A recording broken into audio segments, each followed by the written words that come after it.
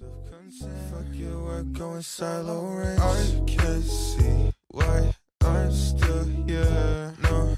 Yo, hello, it's Slovika Sana Revi here, and today I will show you how to sync. If you want to elevate your editing skills, then make sure to check out Revi's Editing Visuals website and watch other tutorials on the channel. Also, if you want to support me as well, then my channel will be linked in the description. Let's begin. First, you need to know that if you press this button, your clip will look just smoother and it will add a little blur, so you should always have this button on your clips. And if you press this button twice, your clip will actually be less lag, but sometimes there might be a really ugly frame that comes with this button, so you can just cut that frame out and just undo this. I have all of these clips, which just want to fit in 5 seconds of the song, and in order to do that smoothly, you can just sync them. Before starting to sync, you should go to your song, press button L two times. Once you're in waveforms, you need to understand what you need to be looking out for. As you can see, this is going pretty smoothly right here, and then there's this top point. This point is basically going to be the point of transitioning, and this is the point where we need to actually mark. And let's listen to it. You heard that beat, right? Now you just need to mark all of these high points. So I found one here. I know a lot of editors do this. I do recommend doing it because you will uh, get better results. So you see high point another here, high point of the wave right here, and I think this one will be the last one. Here we have our first clip. So what you want to press is Alt T, and a time remap will pop up. Here you're going to want to pick the start of the frame and the end of the frame, or it could not be the end of the frame, but it could be one frame before the ending because sometimes if you have this button on, it might just start to look a little weird at the ending. Now I'm just gonna go right here. When the wave goes up, I'm gonna cut it right here. Now you need to select both of these keyframes and press F9. And now we have to go to the most important part, the graph editor. Here in the graph editor, right here is how to sync. If you point this up and you bring this close to it, this is going to be a very sharp sync. See. That's very sharp, but that usually works. So in order to make it a little more smooth, get it out a little bit, make it go a little down. If you make this go up, it's going to lag and it's just going to come back, so don't make it go up. Also, there's another really bad graph you can make. This is probably the worst graph in history of editing. I mean, this works like 1% of the times. There are two ways to sync a clip, I personally think. One is just to make the graph something like this, and there's another way. The other way is to make it like this. This is my personal favorite way. You can even make it a little different if you go out of here and you press this button to make another keyframe, and then you come back here, and then you make this a little sharper, and this a little less sharp, and this one pretty sharp. Now it's going to have a really cool end. It will just be like a really fast ending, and the star will be fast as well. For this particular clip, I won't do it like that. I'll go back to it. I'll make it somewhere pretty sharp, pretty steeply as well. This one doesn't need to be like this steep because that will be very sharp, and this one and kind of smoothly down. This is a very smooth and sharp at the same time. So let's see how it looks. I can't see. Now let's go to the second clip. This is a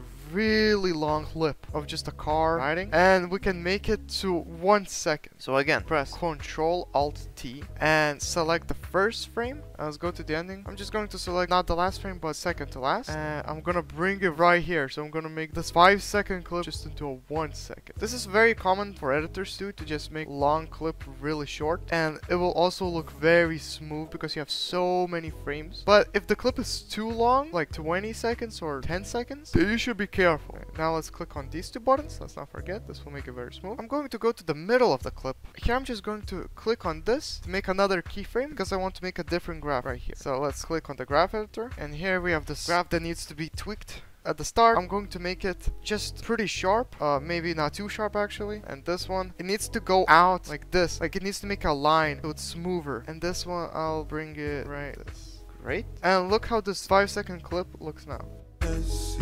Let's show you another example. Let's go to the third transition. Again, this clip is also longer than just one second, but we're going to make it shorter. Press Ctrl Alt T here. Just click on this. Go back here. Make another keyframe. Let's go to where the wave goes up and let's delete the ending. Let's select them both and press F9 and let's go to the graph editor. This graph editor, I'll choose again one of my favorite graphs. Make this one go up and just make this one go down, but not too down. If you make it go like this down, it might lag right here, just so you know. It might not if you have a lot of frames in your video. I wouldn't recommend making it too sharp. So something like this. We have another cool frame.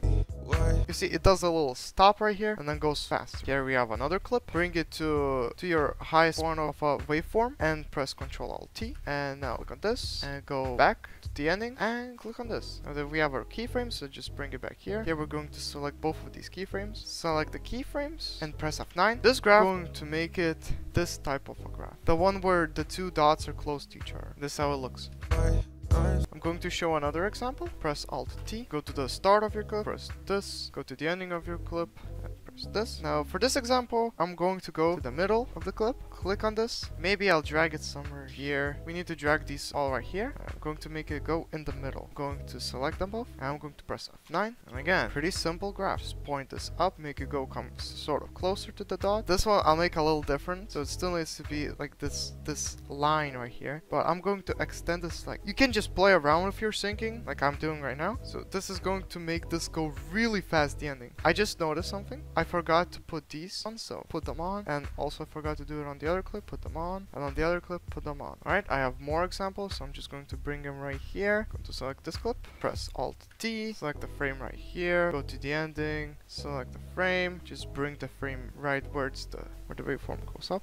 Back here. Uh, I'm going to do another one of my favorite ways. In the middle, I'm going to press this button. Also, don't forget to press these two buttons, make it smoother. Select the keyframes, press F9, go to the graph editor. I'll make it similar to everything else. Put these two dots here. Maybe this one I'll make a little sharper. I'm going to test out if it looks cooler on this clip. This is a pretty sharp graph, just so you know. And this is how it will look now. yeah, yeah. Let's get another clip to sync. Press Alt T, keyframe it here, go to the ending, keyframe here. Now bring it down here. Let's search for the middle point. This is the middle point. Select them, press F9. Literally the same graph. I recommend syncing like I'm syncing right now. I showed you a lot of examples, so I think you understand how to sync now. Another tip I could give you is to press Ctrl Alt Y and have your adjustment layer on top of every layer that you have and go to effects and presets and select motion tile and put it on top of it. Change the output height to make it lower than 100. I recommend somewhere 90. You can even make it 80. Some people do 70. This is for movies sort of. For this clip, I think 90 looks very cool. This gives it a really cool cinematic look. Also, when you're done with syncing, you should then start thinking about transitioning between the clips. I have made a transitioning tutorial on the channel, so you should definitely check it out. And you can also sometimes add one frame glitches, which is also a, a tutorial that I recommend checking out. Also remember how the graphs work. This is very sharp. This sharpness doesn't work usually, so just make it a little less sharp. Just bring it a little down. This is personally my favorite graph. And also, if you just go in the middle here and come back here and press on this and go back here, you can even make a cooler graph. Remember these free graphs. Don't forget to check out our other tutorials, which could help you test out your syncing abilities and more. Alright, have a productive day. See ya.